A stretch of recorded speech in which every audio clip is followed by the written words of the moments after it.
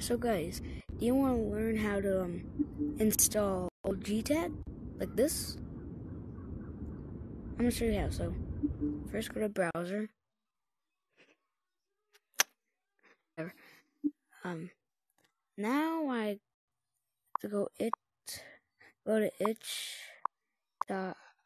That's that's the only thing that I know works. What is what was that? Okay, so on old G tag, old G tag right there, and like pick one of these. Like I I picked that one. Um, this one is really good. It's like it's like the like the very first release of Gorilla Tag. I don't know. I'm just trying to find one.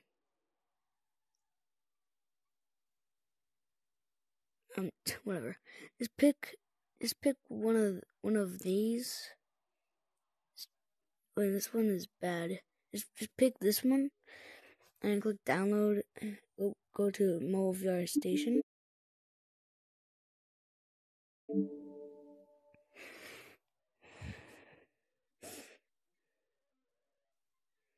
If you don't have it, you can just tape it on. Um, why is it down here? You can just tape it on. Whatever.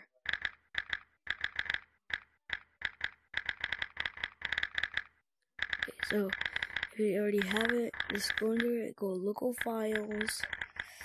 Um, all folders, Android, data, the bottom and then top.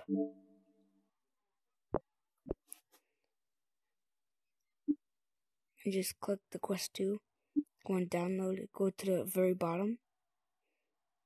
And then you'll see like the thing you downloaded and like like yeah. Wait, see, see. Looks it was it'll do that. So it says click up click update it, was, it would say like um install and then you click done.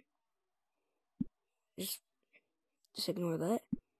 Go to library and then go to unknown un, just go here to go to unknown sources and then you see um one here and you click on it and say to do that. And then you are and you are done